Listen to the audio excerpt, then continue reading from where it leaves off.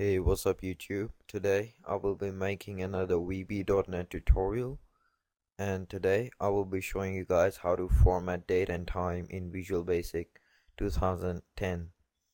Alright, so first of all you have to add one label and five buttons to your form and five timers to your form and the timer one is associated with the button 1 similarly the button 2 is associated with timer 2 button 3 button 4 and button 5 they all associated with their timers. Alright so I will run through the codes quickly. Go on your time now coding and then for as I told you before button 1 is linked to timer 1 in the button 1 you just type in all the timer 2 dot enable equals false till timer 5 dot enable equals false. Except the timer 1 you make it true. Okay then you go back to your form 1 design and then you click on timer 1 and in timer 1 you type in label 1 dot text equals time of day. So the label 1 is this. It will show the current time of day and then you click on convert to 12 hour format. Uh, that's a button 2 and then it disable all other timers except the timer 2 and then go back to your timer 1 timer 2 coding.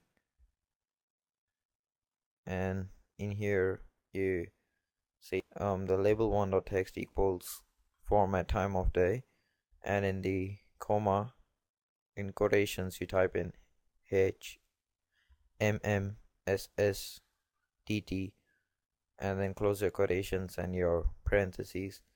And then you go back to your form 1 design. Date now is button 3 you disable all the timers except the timer 3 go back to your timer 3 and this one here label one dot text equals date time dot now dot date.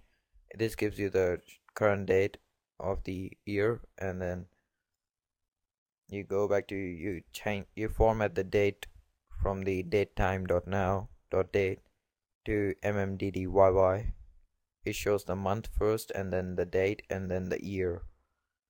And as you can see in the timer 3 uh, in the timer 4 it shows you label 1.text equals format datetime.now.date mmddyy alright so come back to your button 5 which is the last button and it's associated with the timer 5 so double click your button 5 you disable all the timers except the the timer 5 and then go back to your form 1 design and choose timer 5 and then as you can see it formats to date first then the month and then the full year like 2010 in the other one which I showed you before was this one. It just formatted to like 0810 so I'll quickly run the program show you guys how it looks like.